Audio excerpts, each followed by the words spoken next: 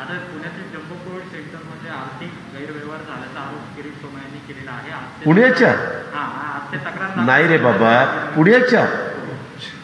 आणि त्याच्यामध्ये संजय राऊत यांच्या मुलीचा देखील साहेब तुम्ही ना प्रश्न विचारताना फार चुकीचा विचारता मग तुम्हाला मी पुण्याचं नाही. नाही जम्बो कोविड सेंटर. पुण्याचं नाही. मी तुम्हाला सांगतो ना. कारण पुण्याच्या संदर्भामध्ये उलट आज चर्चा झाली सौरवराव आम्ही सगळ्यांनी चर्चा येऊ का? मी एक मिनिट. मी माझ्यावर जबाबदारी जिल्ह्याचा पालकमंत्री म्हणून पुण्याच्या संदर्भातली आहे. पुणे आणि पिंपरी चिंचवडमध्ये मी सुरुवातीपासून त्याच्यामध्ये एवढा पारदर्शकता ठेवलेली आहे. आणि सगळे अधिकारी टॉपचे.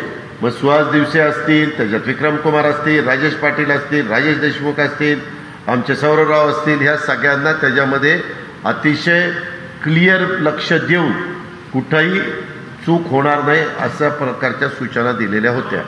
त्याच्यामुळं माझ्या माहितीप्रमाणे इथं पुण्यामध्ये काही आणि जर कुणाचं तसं म्हणणं असेल तर त्याच्याबद्दलचे पुरावे द्या चौकशी करू. दोषी असेल त्याच्यावर ॲक्शन होईल.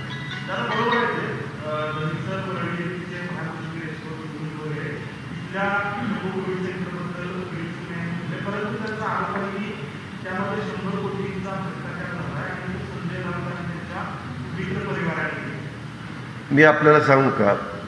पुरावे देऊन त्याची चौकशी करून ते जर सिद्ध झालं तर त्याच्याबद्दलची कारवाई होईल. तुम्ही अलीकडं काही जणांच्या बद्दलचा उल्लेख करता त्याच्यामध्ये खूप काही आरोप. अलीकडं तर मी बघतो मीडियामध्ये नुसते आरोप प्रत्यारोप आरोप प्रत्यारोप. ते कुठल्या स्तराला चाललेत आणि काय काय चाललंय मग कशा माफी मागितली जाते आणि कशा दिलगिरी व्यक्त केल्या जातात हे सगळं तुम्ही पाहताय. मी तुम्हाला नेहमी सांगतो की मला ह्या कुठल्याही गोष्टीमध्ये रस नाही आहे मला कामामध्ये रस आहे आणि आम्ही आपला आपल्यावर जी जबाबदारी आहे ती आम्ही चांगल्या पद्धतीने पार पाडण्याचं काम करतोय. आमचं काम चालू आहे. त्याच्या संदर्भामध्ये काही असेल तर विचारा. पण जे देशातले राज्यातले परिसरातले महत्त्वाचे प्रश्न आहेत त्याला अग्रक्रम देऊन ते सोडवण्याचा प्रयत्न सर्वांनी केला पाहिजे. राज्यकर्ते म्हणून ज्यांची जबाबदारी असेल त्यांनी त्याच्यामध्ये पूर्णपणे निर्णय घेतले पाहिजे.